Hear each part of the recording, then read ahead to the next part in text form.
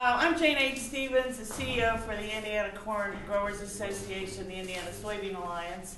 And this morning, we wanted to, we've been wanting to do this for a while, but between our schedules and the senator's schedules, it's been difficult, but this is one of those must-attend events. So we wanted to recognize a new award called Friends of the Farmers for those uh, public officials, whether it's local, state, or federal, who are doing above the job, what I would call beyond the fence, uh, at, uh, work for, on behalf of farmers, not only in Indiana, but really, in it's the senator's case, in the entire country. And so it's our great honor today to give our first Friends of the Farmer Award to Senator Joe Donnelly. To introduce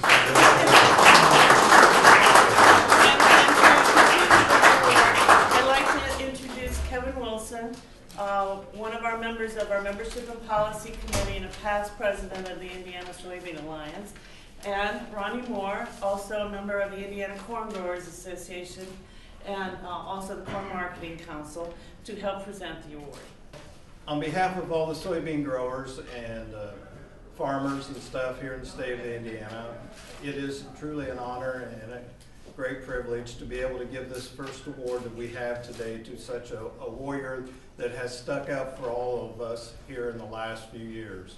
You know, it wasn't too long ago when WOTUS stepped up and uh, Army Corps of Engineers and said that, you know, they thought they knew what was best and they were going to take over our rights to water and, and how it affects all of our ditches and, and those type of things. And, you know, when we have those type of uh, issues pop up, you're supposed to be able to turn to your to your legislative uh, allies and, and see if they can give you some help. And you know, we turned and, and we talked to uh, Senator Donnelly, and he stepped right in. He stepped against his own party lines, and he authored a bill to try to get that taken away from us. And it's very successful, and we have a lot of credit due to him because of all of this. And uh, the issues that we currently had last year with crop insurance. And I will give you a quote because I saw Senator Donnelly a year ago in his office. And this issue of cutting uh, what crop insurance, going back in, reissuing um, the cuts, uh, and we brought this up to him, and he told us then that he would go and lay down in front of President Obama's car to make sure that he could not cross over. The president would keep going. And he would go that far to make sure that those cuts did not take place. So it is indeed a great pleasure for us to, uh, to present you, Senator, with Thank the uh, very, very first award. Thank you.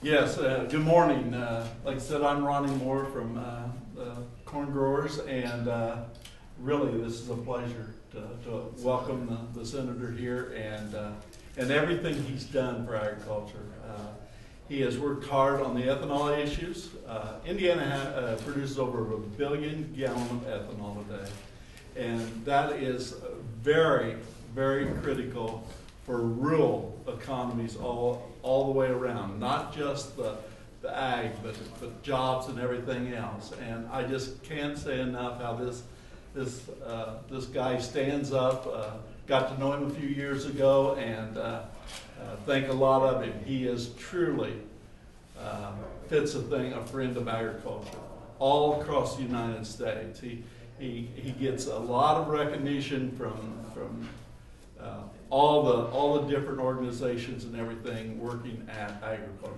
So with that, uh, congratulations. Thank you so very, very much. I, I- I'll just say a few words.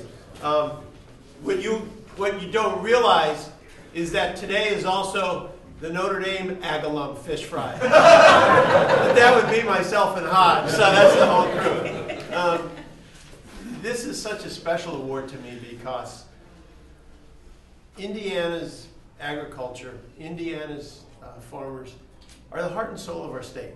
When people think of our state, they think of us feeding the world. And that's what we do every day.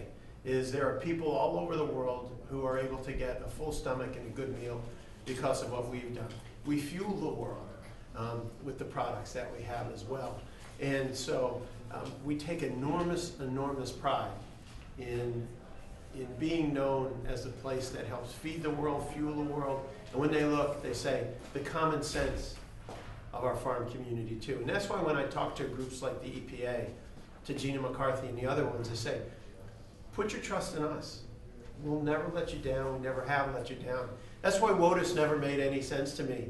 As I said, who knows better than, than Ronnie and Kevin who live right there on the farm, who deal with um, these issues every single day? Who wants cleaner water? Who wants uh, a safer place than the families whose kids run around there every day? And I always tell them, I said, look, go up in a helicopter with me, ride around, and tell me how you're going to regulate every one of those farm ponds. Tell me how you're going to regulate every one of those ditches. And so when you work together with us, the results are always better. And we've seen on WOTUS that it's coming our way. It's coming our way more every single day.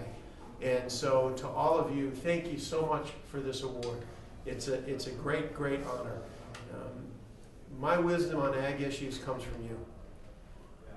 What I've always said is, is when I was first a congressman, Kevin was on my advisory board up in our congressional district um, ag group.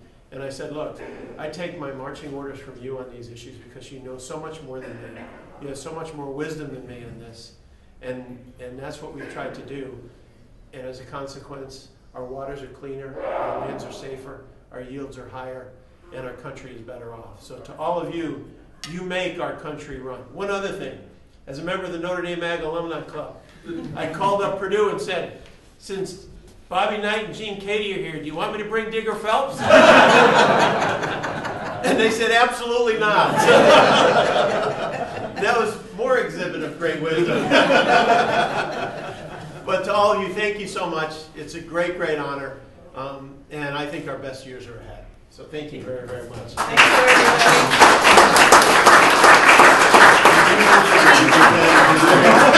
you.